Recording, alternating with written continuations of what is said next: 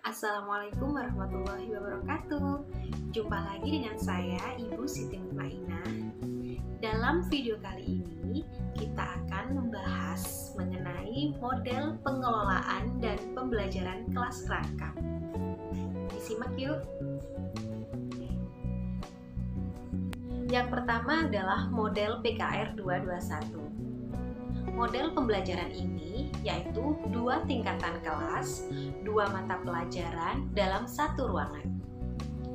Ilustrasinya, guru mengelola pembelajaran kelas, misalnya kelas 1 dan kelas 2 di sebuah ruangan kelas gitu ya, dalam waktu yang bersamaan.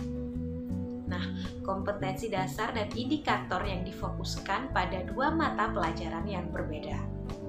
Kemudian model pembelajaran yang kedua yaitu model PKR 222 yaitu pembelajaran dua tingkatan kelas dengan dua mata pelajaran dalam dua, dua ruangan yang berbeda.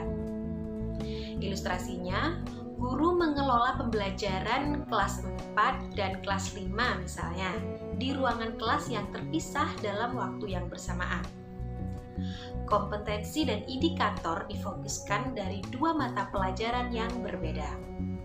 Model pembelajaran berikutnya yaitu model PKR 333 yaitu pembelajaran dengan tiga tingkatan kelas, tiga mata pelajaran, dan dalam tiga ruangan. Nah, ilustrasinya guru mengelola pembelajaran kelas 4, kelas 5, dan kelas 6 misalnya di tiga ruangan kelas yang terpisah dalam waktu yang bersamaan.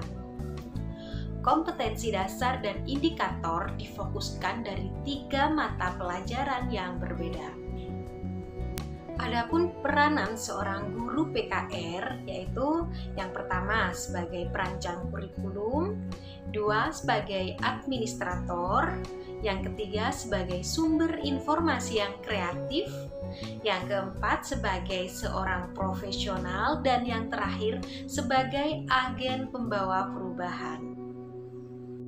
Adapun prinsip-prinsip PKR antara lain yang pertama, keserempakan kegiatan pembelajaran, kemudian yang kedua, kadar tinggi waktu keaktifan akademik, Tiga, kontak psikologis guru dan siswa yang berkelanjutan. Kemudian yang terakhir, dalam PKR ini terjadi pemanfaatan sumber secara efisien. Nah, itu tadi pembahasan mengenai model pengelolaan dan pembelajaran kelas rangkap. Semoga bermanfaat untuk kita semua ya. Terima kasih atas perhatiannya. Jangan lupa dukung terus channel ini dengan cara like, komen, dan subscribe.